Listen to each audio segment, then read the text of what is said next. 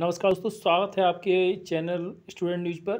देखिए, railway NTPC group D की जो परीक्षा के लिए रिपोर्ट सौंप दी गई है रेल मंत्रालय के लिए कि परीक्षा कब आयोजित होगी, या इसकी जो है दो पेपर होंगे ग्रुप डी के एग्ज़ाम में, या एक पेपर होगा, इसके बारे में ये बात की गई है। और साथ में जो एनटीपीसी का रिज़ल्ट है, उसके बारे में इसकी बात की गई है।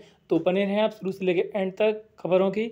तो आइए चलते हैं जो खबर जो कि अभी अपडेट हुई है, और बिल्कुल लाइव अपडेट दिखाएँगे हम आपके लिए।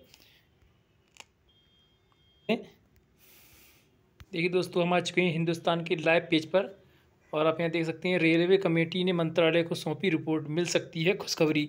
और आप देखिए यहाँ पर टाइम देख सकते हैं, दस बज के इक्कीस मिनट का टाइम है और चार मार्च यानी कि आज की जो डेट है, यहाँ पर देखने को मिल रही है आपके लिए। आइए देखते हैं क्या है रिपोर्ट में इसमें।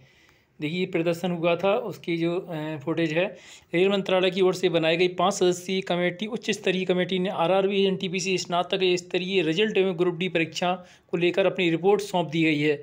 उम्मीद की जा रही है देखिए आज चार मार्च है तो चार मार्च को सौंपने की बात कही गई इन्होंने, और अभ्यर्थियों के पक्ष में फैसला लेगी।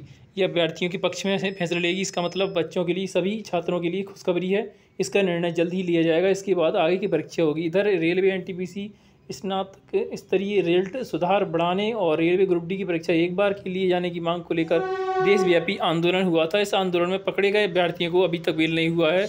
वहीं शिक्षकों पर दर्ज प्राथमिकता भी समाप्त नहीं हुई। है हालाँकि इसे वापस करने की बात कही गई थी।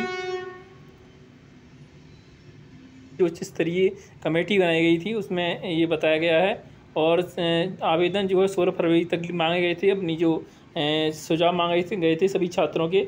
उसके बाद देखिए, आज चार मार्च है, उसके लिए ये फाइनल सबमिशन हो गया है। करीब इसमें सात लाख अभ्यर्थियों का रिज़ल्ट दिया जाएगा और ये जो है आज इसका फाइनल हो जाएगा और आज जो है हिंदुस्तान में ये न्यूज़ छपी है यहाँ पर, आप देख सकते हैं। तो बने रहे हमारे चैनल के साथ। जैसे ही इसकी फाइनल न्यूज़ आएगी, हम तुरंत आपके पास लेकर आएँगे। धन्यवाद।